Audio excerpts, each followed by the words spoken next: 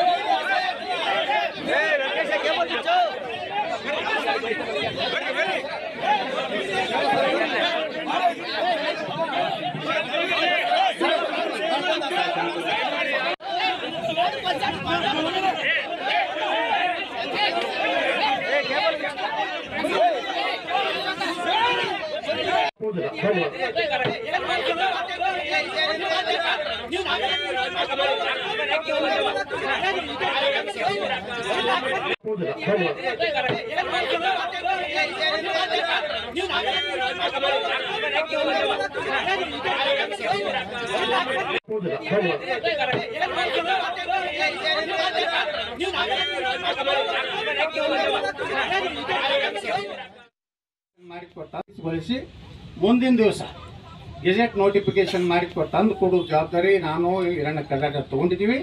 ಅದರ ಪ್ರಕಾರ ನಾವು ನಡೆದೇ ತಿರ್ತೀವಿ ನಾವು ಯಾವ ಕಾಲಕ್ಕೂ ನಮ್ಮ ರಾಜಕೀಯಕ್ಕಾಗಿ ಸಮುದಾಯಗಳನ್ನು ಬಲಿ ಕೊಡುವಂಥ ಕೀಳು ಮಟ್ಟದ ರಾಜಕಾರಣ ಮಾಡೋದಲ್ಲ. ಇಷ್ಟು ಮಾತ್ರ ಸ್ಪಷ್ಟ ಹೇಳ್ತೀನಿ. ಅದರ ಮೇಲೆ ಪೂಜ್ಯರು ಇವತ್ತು ತಮ್ಮ ಒಂದು ಈ ಒಂದು ವಿಚಾರದಲ್ಲಿ ಮುಂದಿನ ದಿನಗಳಲ್ಲಿ ಏನು ಇಂಥ ಒಂದು ದೊಡ್ಡ ಐತಿಹಾಸಿಕವಾದಂಥ ಒಂದು ನಿರ್ಣಯ ಏನಾಗಿದೆ ಅದನ್ನೆಲ್ಲ ನಾವು ಸ್ವಾಗತ ಮಾಡ್ತೀವಿ ಅಂತೇಳಿ ನಾನು ಎರಡು ಮಾತು ಮುಗಿಸ್ತಾ ಇದ್ದೀನಿ. ಬಳಸಿ ಇವತ್ತಿನ ಈ ರೀತಿ ವಿರೋಧ ನೀತಿಯನ್ನು ಖಂಡಿಸಿ ನಾನು ಈ ಒಂದು ಸ್ಥಾನದಲ್ಲಿ ನಾವು ಉಳಿಯೋದಿಲ್ಲ. ನಾನು ಇದಕ್ಕೆ ರಾಜೀನಾಮೆನೇ ಕೊಡ್ತಾ ಇದ್ದೀನಿ. ಆಲ್ರೆಡಿ ಅವರು ಕೂಡ ಒತ್ತಾಯ ಮಾಡಿ.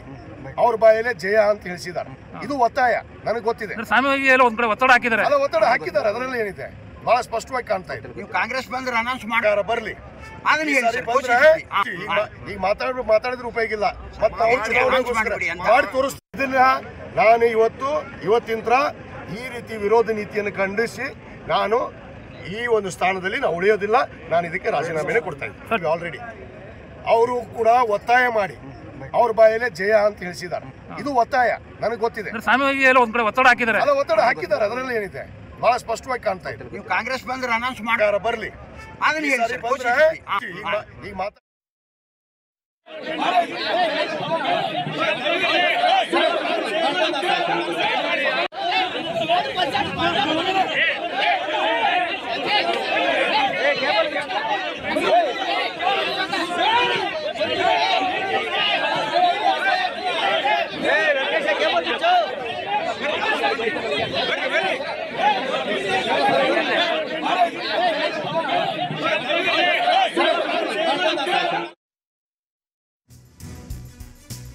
ಇವೆಲ್ಲದರ ನಡುವೆ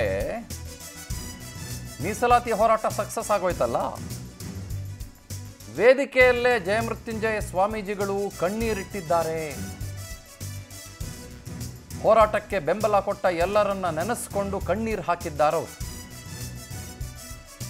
ರಾಜಕಾರಣಿಗಳು ಪಕ್ಷಾತೀತವಾಗಿ ಎರಡೂವರೆ ವರ್ಷಗಳ ಕಾಲ ಬೆಂಬಲ ಕೊಟ್ಟರು ದೇಶದಲ್ಲಿ ಯಾವ ಸ್ವಾಮೀಜಿಗೂ ಸಿಗದಂಥ ಬೆಂಬಲ ನನಗೆ ಸಿಕ್ಕಿದ್ದು ಬಹಳ ಖುಷಿ. ಹೀಗಂತ ಪಂಚಮಸಾಲಿ ಪೀಠದ ಅಧ್ಯಕ್ಷ ಜಯಮೃತ್ಯುಂಜಯ ಸ್ವಾಮಿಗಳು ಭಾವುಕರಾಗೋದ್ರಿ ಇವತ್ತು.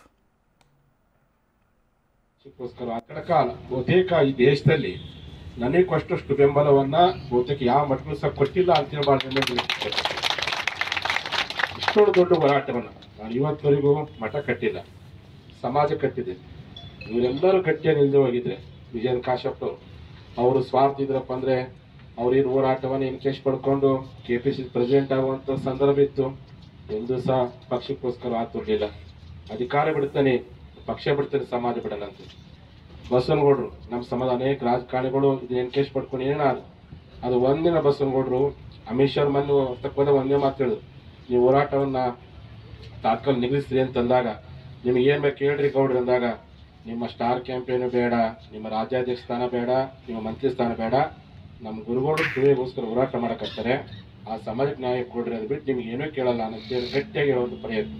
ಕಡಕಾಲ. ಇಲ್ಲಿ ಎರಡು ಆಯಾಮಗಳಲ್ಲಿ ಈ ಇಡೀ ಪ್ರಕರಣವನ್ನು ನಾವು ಗಮನಿಸಿಬಿಡೋಣ. ನಿಜ, ಹೋರಾಟ ನಡೀತಾ ಇತ್ತು. ಪಂಚಮಸಾಲಿಗಳಿಗೆ ಮೀಸಲಾತಿಯ ಅವಶ್ಯಕತೆ ಇತ್ತು. ಅವ್ರು ಕೇಳಿದ್ದು ಜಾಸ್ತಿ, ಆದರೆ ಫೈವ್ ಪರ್ಸೆಂಟ್ ಇದ್ದಿದ್ದನ್ನು ಸೆವೆನ್ ಪರ್ಸೆಂಟ್ ಮಾಡಿದರು. ಇಲ್ಲಿ ನಾವು ಆಲೋಚನೆ ಮಾಡಬೇಕಾಗಿರೋದು ಏನು ಗೊತ್ತಾ? ಇದು ಯಾರೋ ಕ್ರೆಡಿಟ್ ತೆಗೆದುಕೊಳ್ಳುವ ರೀತಿಯ ಹೋರಾಟ ಆಗಬಾರ್ದಾಗಿತ್ತು ಅನ್ನೋದು. ಎಸ್ಪೆಷಲಿ ರಾಜಕಾರಣಿಗಳ ಬಗ್ಗೆ ಮಾತನಾಡ್ತಾ ಹೇಳ್ತಾ ಇದ್ದೀನಿ. ಜಯಮೃತ್ಯುಂಜಯ ಸ್ವಾಮೀಜಿಗಳು ಒಬ್ಬ ಸ್ವಾಮೀಜಿಗಳಾಗಿ, ಒಬ್ಬ ಹಿರಿಯರಾಗಿ, ಒಬ್ಬ ಗುರುಗಳಾಗಿ ಹೋರಾಟವನ್ನು ಮಾಡ್ಕೊಂಡು ಬಂದರು. ಭಾಳ ಶಾಂತಿಯುತವಾದಂಥ ಹೋರಾಟ ಇತ್ತು ಅವ್ರದ್ದು. ಬಹಳ ಸಲ ಭೇಟಿಗಳನ್ನು ಮಾಡಿದರು, ಚರ್ಚೆಗಳನ್ನು ನಡೆಸಿದರು, ಸಮಾಜಕ್ಕೆ ಸಂದೇಶ ಸಾರುವ ಪ್ರಯತ್ನಗಳನ್ನು ಅವರು ಮಾಡಿದರು. ಅದು ಒಂದು ಭಾಗ. ಅವರ ಹೋರಾಟದ ಬಗ್ಗೆ ಬಹಳ ಗೌರವ ಮತ್ತು ಬಹಳ ಪ್ರೀತಿ. ಆದರೆ ಇಲ್ಲಿ ಒಂದು ಹಂತಕ್ಕೆ ಗೆಲುವು ಸಿಕ್ಕಿದೆ ಅಥವಾ ಗೆಲುವಲ್ಲಿ ಕಾಣಿಸ್ತಿದೆ ಅಂತ ಅನ್ನುವಾಗ ರಾಜಕಾರಣಿಗಳು ಅಂತ ಕರೆಸ್ಕೊಳ್ಳುವವರು ಏನಿದ್ದಾರೆ? ಇಲ್ಲ, ನಾನು ಒಪ್ಪೋದಿಲ್ಲ ಇದನ್ನು. ಇಲ್ಲ, ನಾನು ಇದನ್ನು ಮುಂದುವರಿಸ್ತೇನೆ. ಇಲ್ಲ, ನಾನು ರಾಜೀನಾಮೆ ಕೊಡ್ತೇನೆ ಅನ್ನೋದು ಏನನ್ನು ಸೂಚಿಸುತ್ತೆ ಅನ್ನೋದು ನನಗೆ ಗೊತ್ತಿಲ್ಲ. ನಾನು ಎರಡನೇ ಪಾಯಿಂಟ್ ಮಾತನಾಡ್ತೀನಿ, ಇದಕ್ಕೆ ಒಂದು ಜುಡಿಷಿಯಲ್ ಪ್ರಿಡೆನ್ಸಿ ಅಂತ ಕರೀತಾರೆ. ಅದು ಸಿಗುತ್ತಾ ಇಲ್ವಾ ಅನ್ನೋದು ಇನ್ನೂ ಪ್ರಶ್ನೆಯೇ. ಕಾರಣ ಏನು ಕೇಳಿ? ರೈಟ್ ನಾನು ಮಾತನಾಡ್ತೀನಿ ಕಾರಣಗಳ ಬಗ್ಗೆ. ಶಶಿಧರ್ ನಮ್ಮ ಪ್ರತಿನಿಧಿ ಫೋನ್ನಲ್ಲಿ ಜಾಯ್ನ್ ಆಗಿದ್ದಾರೆ. ಅವ್ರನ್ನ ಮಾತನಾಡ್ಸೋಣ. ಶಶಿಧರ್ ಸ್ವಾಮೀಜಿಗಳ ಹೋರಾಟದ ಬಗ್ಗೆ ಭಾಳ ಗೌರವ ಭಾಳ ಪ್ರೀತಿ. ಅವರು ಎರಡೂವರೆ ವರ್ಷಗಳ ಕಾಲ ಸತತವಾಗಿ ಹೋರಾಟಗಳನ್ನು ಮಾಡಿದರು. ಬೇರೆ ಬೇರೆ ಕಡೆ ಸುತ್ತಿದ್ರು. ಸುಮಾರು ಜನರನ್ನು ಭೇಟಿ ಮಾಡಿದರು. ಅದು ಒಂದು ಭಾಗ. ಆ ಗೌರವವನ್ನು ನಾವು ಇಟ್ಕೊಳ್ತಾನೆ ಇದನ್ನು ರಾಜಕಾರಣಿಗಳು ಹೆಂಗೆ ಎನ್ಕ್ಯಾಶ್ ಮಾಡ್ಕೊಳ್ಳೋಕ್ಕೆ ಬಳಸ್ಕೊಳ್ತಿದ್ದಾರೆ ಅಂತ ನನಗೆ ಅರ್ಥ ಆಗ್ತಾ ಇಲ್ಲ.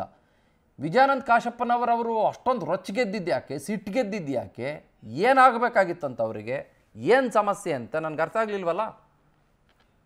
ಚಂದನ್ ಶರ್ಮಾ ಏನಂತಂದ್ರೆ ಇಷ್ಟು ದಿವಸ ಈ ಒಂದು ಸ್ವಾಮೀಜಿಗಳು ಟು ಎ ಮೀಸಲಾತಿಗೆ ಏನು ಹೋರಾಟ ನಡೆಸಿದ್ರು. ಆ ಒಂದು ಹೋರಾಟಕ್ಕೆ ಎಲ್ಲಾ ರಾಜಕಾರಣಿಗಳು ಕೂಡ, ಆ, ಪಕ್ಷವನ್ನ ಹೊರತುಪಡಿಸಿ ಪಕ್ಷಾತೀತವಾಗಿ ಎಲ್ಲರೂ ಕೂಡ ಬೆಂಬಲವನ್ನು ಕೂಡ ಕೊಟ್ಟಿದ್ರು. ಬಿಜೆಪಿ ಜೆಡಿಎಸ್ ಕಾಂಗ್ರೆಸ್ನವರು. ಆದ್ರೆ ಇವತ್ತು ತೀರ್ಮಾನ ತೆಗೆದುಕೊಳ್ಬೇಕಾದ್ರೆ ಏಕಪಕ್ಷೀಯವಾಗಿ ತೀರ್ಮಾನವನ್ನು ತೆಗೆದುಕೊಂಡಿದ್ದಾರೆ ಅನ್ನೋ ಆರೋಪವನ್ನ ಇವತ್ತು ವಿಜಯಾನಂದ ಕಾಶ್ಯಪ್ನವರು ಹೇಳ್ತಿದ್ದಾರೆ. ಅವರು ಕೂಡ ಒಬ್ಬ ಶಾಸಕ ಸ್ಥಾನದ ಅಭ್ಯರ್ಥಿ ಮಾಜಿ ಶಾಸಕರು ಕಾಂಗ್ರೆಸ್ ಪಕ್ಷದಲ್ಲಿ ಕೂಡ ಇದ್ದಾರೆ. ಹಾಗಾಗಿ ಈ ಎಲ್ಲಾ ತೀರ್ಮಾನವನ್ನ ತೆಗೆದುಕೊಳ್ಬೇಕಾದ್ರೆ ಇವತ್ತು ಎಲ್ಲಾ ಕ್ರೆಡಿಟ್ ಕೂಡ ಬಿಜೆಪಿಗೆ ಸೇರುತ್ತೆ. ಎತ್ತಾಳು ಒಬ್ಬ ನಾಯಕರಾಗ್ತಾರೆ ಅನ್ನುವ ಒಂದು ಆರೋಪ ಕೂಡ ಒಂದು. ಸ್ವತಃ ವಿಜಯಾನಂದ ಕಾಶಪ್ಪನವರವರು ಫೋನದಲ್ಲಿದ್ದಾರೆ ನಮ್ಮ ಜೊತೆಗೆ. ನಮಸ್ಕಾರ ಚಂದನ್ ಶರ್ಮಾ ಪವರ್ ಟಿವಿ ಇಂದ ಮಾತಾಡ್ತಾ ಇದ್ದೀನಿ ಸಾಹೇಬ್ರೆ. ಹಾ ನಮಸ್ಕಾರ ನಮಸ್ಕಾರ ಚಂದನ್ ಶರ್ಮಾ ಅವರೇ. ಏನ್ ಬಹಳ ಸಿಟ್ಟಿಗೆದ್ದಿದ್ದೀರಿ ಬಹಳ ಬೇಜಾರು ಮಾಡ್ಕೊಂಡಿದ್ದೀರಿ ಬಹಳ ಆತಂಕದಲ್ಲಿದ್ದೀರಿ ಇಲ್ಲ ನಾನು ಇರೋದಿಲ್ಲ ಈ ಸ್ಥಾನದಲ್ಲಿ ಅಂತ ಇದ್ದೀರಿ ಏನಾಯ್ತು ಕೇಳ್ಬೋದಾ? ಏನ್ ನೋವು ನಿಮ್ಮನ್ನು ನೋಡಿ ನಾವು ಜನರಿಗೆ ನಮ್ಮ ಲಿಂಗಾಯತ ಪಂಚಮಸಾಲಿ ಸಮಾಜಕ್ಕೆ ಮತ್ತು ಎಲ್ಲ ಲಿಂಗಾಯತ ಒಳ ಪಂಗಡಗಳಿಗೆ ನಾವು ದಾರಿ ಉದ್ದಕ್ಕೂ ಎರಡೂವರೆ ವರ್ಷದಿಂದ ನಾವು ಮಾತು ಕೊಟ್ಟಿದ್ದೇನು ಟು ಎ ಮೀಸಲಾತಿಯನ್ನ ಪಡಿತೀವಿ. ಹೋರಾಟ ಆಗಿದ್ದೇ ಟು ಎ ಮೀಸಲಾತಿ ಸಮಾನವಾದ ಸ್ಥಾನಮಾನಗಳು ಸಿಗಬೇಕು. ಅದು ಸಾ ಅದು ಸಿಗ್ಲಾರ್ದಕ್ಕೆ ನನಗೆ ಕೊಡಿಸ್ಲಾರ್ದ ಅದಕ್ಕೆ. ನಾನು ಆ ಸ್ಥಾನದಲ್ಲಿ ಉಳಿಯೋದಕ್ಕೆ ನನಗೆ ಅರ್ಹತೆ ಇಲ್ಲ ಅನ್ನೋ ಭಾವನೆ ಇಟ್ಕೊಂಡು ನಾನು ಆ ಸ್ಥಾನದಿಂದ ರಾಜೀನಾಮೆಯನ್ನು ಕೊಟ್ಟಿದ್ದೀನಿ. ಅಂದ್ರೆ ತಾವು ಏನ್ ಹೇಳ್ತಾ ಇದ್ದಿದ್ದು ಹದಿನೈದು ಪರ್ಸೆಂಟ್ನ ಒಳಗಡೆ ತಮ್ಮನ್ನು ಕೂಡ ಇನ್ಕ್ಲೂಡ್ ಮಾಡ್ಕೊಳ್ಬೇಕು ಆ ಸ್ಥಾನಮಾನಗಳು ಸಿಗಬೇಕು. ಆ ಹೋರಾಟಕ್ಕೆ ಹದಿನೈದು ಪರ್ಸೆಂಟ್ನ ಒಳಗಡೆ ಬಂದಾಗ ಮಾತ್ರ ಜಯ ಸಿಗೋದು ಅನ್ನೋದು ನಿಮ್ಮ ಉದ್ದೇಶ ಅಲ್ವಾ? ಹೌದು ಹೌದು. ಆದ್ರೆ ಈಗ ಸರ್ಕಾರ ಮಾಡಿರೋದರಲ್ಲಿ ಸಮಸ್ಯೆ ಏನಿರಬಹುದು ಅಂತ ತಮ್ಮ ಅನಿಸಿಕೆ ತಮಗೇನ್ ಅನಿಸ್ತಾ ಇದೆ. ಈಗ ಟೂ ಬಿ ಕೊಟ್ಟಿದ್ದಾರೆ. ಹೇಳಿ. ನೋಡಿ ಏಳು ಪರ್ಸೆಂಟ್ ಕೊಟ್ಟಿದ್ದಾರೆ. ಹೌದು. ಈಗಾಗಲೇ ನಾವು ತ್ರೀ ಬಿದಲ್ಲಿ ಐದು ಪರ್ಸೆಂಟ್ ಇದ್ದಿದ್ವಿ ಹೌದು ಎರಡು ಪರ್ಸೆಂಟ್ ಜಾಸ್ತಿ ಮಾಡಿದ್ದಾರೆ ಈಗ. ಎರಡು ಪರ್ಸೆಂಟ್ ಇಂತ್ರ ಏನಾಗೋದಿದೆ ಇದಕ್ಕೆ. ಈಗ ಆಲ್ರೆಡಿ ಹಿಂದುಳಿದ ವರ್ಗದಲ್ಲೇ ನಾವು ಗುರುತಿಸ್ಕೊಂಡಿದೀವಿ ಗುರುತಿಸ್ಕೊಂಡ ಮೇಲೆ ನಮಗೆ ತ್ರೀ ವಿ ಬದ್ಲಿ ನಮಗೆ ಟೂ ಎ ಕೇಳಿದ್ವಿ ನಾವು. ಹದಿನೈದು ಪರ್ಸೆಂಟ್ ಮೀಸಲಾತಿ ಕೊಡ್ಬೇಕಾಗಿತ್ತು. ಅದನ್ನೇ ಕೊಡ್ತೀನಿ ಅಂತಂತೇಳಿ ಈಗ ಬೆಳಗಾವಿದಲ್ಲಿ ನಾವು ಹೋರಾಟ ಮಾಡಿದಾಗ ಇದೇ ಸರ್ಕಾರ ಟೂ ಡಿ ಟೂ ಸಿ ಕೊಟ್ಟಾಗ ಎಲ್ಲ ನಮ್ಮ ಪೂಜ್ಯರು ಬಸವನಗೌಡ ಪಾಟೀಲ್ ಇರ್ತಾರೆ ಅವರು ಎಲ್ಲರೂ ಕೂಡ ವಿರೋಧ ವ್ಯಕ್ತಪಡಿಸಿದ್ದಾರೆ. ಇವತ್ತು ಚುನಾವಣೆ ಹತ್ತಿರ ಇದೆ ಅನ್ನೋ ಕಾರಣಕ್ಕೆ ಇವತ್ತು ಬಸವನಗೌಡ ಪಾಟೀಲ್ ಎತ್ತಾಳ್ ಅವರು ಒಪ್ಪುವಂತ ಪರಿಸ್ಥಿತಿ. ಯಾಕಂದ್ರೆ ಅವ್ರಿಗೂ ಒಂದು ಪಕ್ಷ ಇದೆ. ಅವ್ರು ಒಪ್ಪ ಒಪ್ಪಿಸ್ಬೇಕು ಅಂತ ನಿರ್ಣಯ ಮಾಡಿ ಪೂಜ್ಯರ ಮೇಲೆ ಕೂಡ ಒತ್ತಡ ಹೇಳಿ ಇವತ್ತು ಜಯ ಸಿಕ್ಕಿದೆ ಅಂತ ಜಯ ಎಲ್ಲಿ ಸಿಕ್ಕಿದೆ ನಮ್ಗೆ?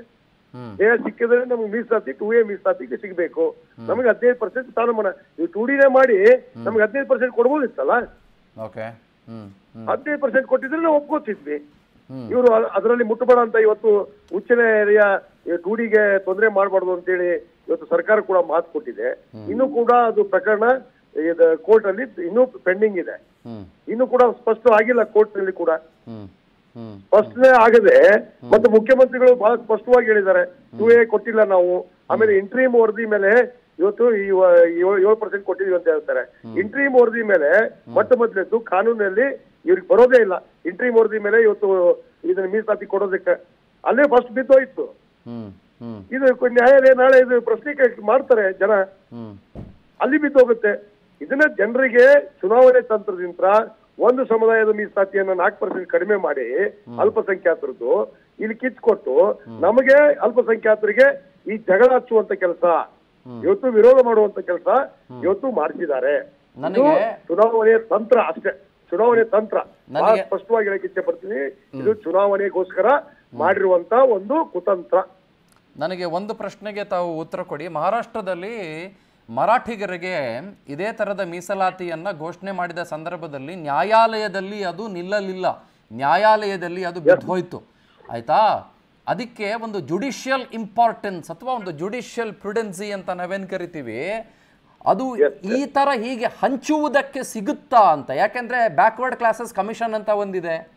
ಬ್ಯಾಕ್ವರ್ಡ್ ಕ್ಲಾಸಸ್ ಕಮಿಷನ್ ಕೂಡ ಪ್ರಶ್ನೆ ಮಾಡದೆಯೇ ಅವರನ್ನು ಕೇಳದೆಯೇ ಈ ರೀತಿ ಹಂಚಕ್ಕಾಗೋದಿಲ್ಲ. ಸೊ ಇದು ಇದು ಎಷ್ಟರ ಮಟ್ಟಿಗೆ ಸಿಂಧುತ್ವವನ್ನು ಪಡೆದುಕೊಳ್ಳುತ್ತೆ? ಇವ ಇವಾಗ ಘೋಷಣೆ ಮಾಡಿದ್ದಾರೆ ನಮಗೆ ಪರ್ಸೆಂಟೇಜ್ ಕಾಣಿಸ್ತಿದೆ ನಿಮಗೆ ಪರ್ಸೆಂಟೇಜ್ ಕಾಣಿಸ್ತಿದೆ ಒಪ್ಕೋತೀನಿ ನಾನು. ಆದರೆ ಈ somebody questions tomorrow in the honourable supreme court of India ಏನಾಗುತ್ತೆ? ನೋಡಿ ಇನ್ನೊಂದು ಬಹಳ ಸ್ಪಷ್ಟವಾಗಿ ಹೇಳಕ್ ವಿಷಯ ಶರ್ಮಾ ಅವರೇ. ಏನು ಎರಡ್ ಸಾವಿರದ ಹದಿನಾಲ್ಕರಲ್ಲಿ ಇದೇ ಪ್ರಧಾನಿಗಳು ನರೇಂದ್ರ ಮೋದಿ ಅವರು ಐವತ್ ಪರ್ಸೆಂಟ್ ಮೀಸಲಾತಿಯನ್ನ ಮೀರಕ್ ಆಗೋದಿಲ್ಲ ಅನ್ನೋದು ಪಾರ್ಲಿಮೆಂಟ್ ಅಲ್ಲಿ ಹೇಳಿದ್ದಾರೆ ಈಗಾಗಲೇ ಸರ್ವೋಚ್ಚ ನ್ಯಾಯಾಲಯ ಕೂಡ ಐವತ್ ಪರ್ಸೆಂಟ್ ಅನ್ನ ಮೀರಬಾರದು ಅಂತ ಹೇಳಿದೆ. ಇವರು ಐವತ್ತಾರು ಪರ್ಸೆಂಟ್ ಮಾಡಿದೀವಿ ಅಂತ ಮೊನ್ನೆ ಏನು ಎಸ್ ಸಿ ಎಸ್ ಟಿ ಮೀಸಲಾತಿ ಮಾಡ್ಬಿಟ್ಟು ಏನು ಐವತ್ತಾರು ಪರ್ಸೆಂಟ್ ಮಾಡಿದೀವಿ ಅಂತ ಘೋಷಣೆ ಮಾಡಿ. ಇವತ್ತು ಐವತ್ತಾರು ಪರ್ಸೆಂಟ್ ಮಾಡಿದ್ರೆ ಅದು ಮೀರ್ದಂಗಲ್ವಾ ಇದು ನ್ಯಾಯಾಲಯಕ್ಕೆ ಹೋದ್ರೆ ಬೀಳಲ್ ಬೀಳಲ್ವಾ? ಇವತ್ತು ಶೆಡ್ಯೂಲ್ ನಂಬರ್ ನೈನ್ ಅಲ್ಲಿ ಇವ್ರು ಸೇರಿಸ್ಬೇಕು. ಅದು ಸೇರಿಸೋದು ಯಾವಾಗ? ಆಗೋದು ಯಾವಾಗ? ಎಲ್ಲ ಎಲ್ಲ ಇವತ್ತು ಸಮುದಾಯಕ್ಕೆ ಕೂಡ ಇದು ರಾಜಕೀಯ ಕುತಂತ್ರದಿಂದ ಚುನಾವಣೆಯ ಮುಂದಿಟ್ಕೊಂಡು ಇದೊಂದು ಮಾಡಿರುವಂತ ಒಂದು ಒಂದು ಕ್ಯಾಬಿನೆಟ್ ಡಿಸಿಷನ್ ಸ್ವಾಮೀಜಿಗಳಿಗೆ ಇದು ಅಲ್ಲ ಸ್ವಾಮೀಜಿಗಳಿಗೆ ನಿಮ್ಮ ನಿಲುವು ಅರ್ಥ ಆಗ್ಲಿಲ್ವಾ? ಯಾಕಂದ್ರೆ ಅವ್ರ ವರ್ಷನ್ ಬೇರೆ ಇತ್ತು ಅವ್ರು ಬಹಳ ಭಾವುಕರಾಗೋದ್ರು ನನ್ನ ಹೋರಾಟಕ್ಕೆ ಸಿಕ್ಕ ಗೆಲುವು ಅಂತ ಅಂದ್ಬಿಟ್ರು ಏನ್ ಸಮಸ್ಯೆ ಆಯ್ತಲ್ಲ ಮತ್ತೆ? ನೋಡಿ ಸ್ವಾಮೀಜಿ ಅವ್ರ ಜೊತೆಗೆ ನಾವು ಪೂರ್ವಭಾವಿ ಚರ್ಚೆ ಮಾಡಿದೀವಿ. ಇವತ್ತು ಬೆಳಿಗ್ಗೆ ತಾನೇ ನಾವು ಚರ್ಚೆ ಮಾಡಿ ಇದನ್ನ ನಮಗೆ ಇನ್ನೂ ಪ್ರೊಸೀಡಿಂಗ್ಸ್ ಬಂದಿಲ್ಲ. ಕ್ಯಾಬಿನೆಟ್ ಪ್ರೊಸೀಡಿಂಗ್ಸ್ ಬರಬೇಕು. ಆ ಕಾಗದಗಳು ಕೇಳಬೇಕು. ಕಾನೂನು ಸಲಹೆಗಳನ್ನು ತಗೋಬೇಕು ಅಂತ ಹೇಳಿ ಎಲ್ಲಾ ಚರ್ಚೆ ಆಗಿದೆ. ಚರ್ಚೆ ಆದಾಗ್ಯೂ ಕೂಡ ಇವತ್ತು ಬಸವನಗೌಡ ಪಾಟೀಲ್ ಯತ್ನ ಅವರ ಒತ್ತಡ ಇದರಲ್ಲಿ ಬಹಳ ಸ್ಪಷ್ಟವಾಗಿ ಇವತ್ತು ಆಡಳಿತ ಪಕ್ಷದ ಒಬ್ಬ ಶಾಸಕರವರು ಅವ್ರಿಗೆ ಈಗಾಗಲೇ ಹೈಕಮಾಂಡ್ ಅವರು ಬಾಯಿ ಬಂದ್ ಮಾಡಿಸಿದ್ದಾರೆ. ಕಳೆದ ಎರಡು ತಿಂಗಳ ನಂತರ ಇದು ಯಾವುದೇ ಪ್ರಕ್ರಿಯೆ ಬಗ್ಗೆ ಉತ್ತರ ಕೊಟ್ಟಿಲ್ಲ. ಮೀಸಲಾತಿ ಎಷ್ಟು ಪ್ರಮಾಣ ಕೊಡ್ತಾರೆ ಅನ್ನೋದು ಕೂಡ ಅವ್ರು ಪ್ರಕಟಗೊಳಿಸಲಿಲ್ಲ. ಯಾಕಂದ್ರೆ ಇವತ್ತು ಒತ್ತುವಂತ ಒತ್ತಡದ ಮೇಲೆ ಇದನ್ನ ಒಪ್ಕೊಂಡಿದ್ದಾರೆ. ಬಸವನಗೌಡ ಪಾಟೀಲ್ ಎತ್ತ ಅವರು ಒಪ್ಕೊಂಡ್ರೆ ಅದನ್ನೇ ನಮ್ಮ ಪೂಜ್ಯರು ಕೂಡ ಇವತ್ತು ಪೂಜ್ಯರು ಕೂಡ ಒಂದು ಸ್ಪಷ್ಟ ಸ್ಪಷ್ಟತೆ ಪಡಿಸಿದ್ದಾರೆ. ನಮಗೆ ಏಳು ಪರ್ಸೆಂಟ್ ಸಿಕ್ಕಿದೆ. ಮುಂದಿನ ದಿನಗಳಲ್ಲಿ ಮುಂದೆ ಬರುವಂತ ಸರ್ಕಾರದ ಮುಂದೆ ನಾವು ಇನ್ನೂ ಹೆಚ್ಚುವರಿ ಮಾಡೋದು ಮಾಡೋದಕ್ಕೆ ಈ ಹೋರಾಟ ಮುಂದುವರಿಯುತ್ತೆ ಅನ್ನೋ ಮಾತನ್ನು ಕೂಡ ಹೇಳಿದ್ದಾರೆ. ಆದ್ರೆ ಎಲ್ಲೋ ಒಂದು ಕಡೆ ಅವ್ರು ತಪ್ಪಿ ಜಯ ಸಿಕ್ಕಿದೆ ಅಂತಂದ್ರು ಆ ಜಯ ನಮ್ಗೆ ಸಿಕ್ಕಿಲ್ಲ ಅನ್ನೋ ಮಾತನ್ನು ನಾನು ಹೇಳಕ್ಕೆ ಇಚ್ಛೆ ಪಡ್ತೀನಿ ರೈಟ್ ಥ್ಯಾಂಕ್ ಯು ನಮಸ್ಕಾರ. ಫ್ರೀಡಮ್ ಆಪ್ ಅಲ್ಲಿ ಕಲ್ತು ಹಣ್ಣು ಬೆಳಿತಿದ್ದೀರಾ? ಹಾಗಾದ್ರೆ ನಿಮ್ಮ ಹಣ್ಣುಗಳನ್ನ ಒಂದು ಕೋಟಿಗೂ ಹೆಚ್ಚು ಫ್ರೀಡಮ್ ಆಪ್ ಬಳಕೆದಾರರಿಗೆ ಯಾವುದೇ ಖರ್ಚಿಲ್ಲದೆ ಮಾರಾಟ ಮಾಡಿ.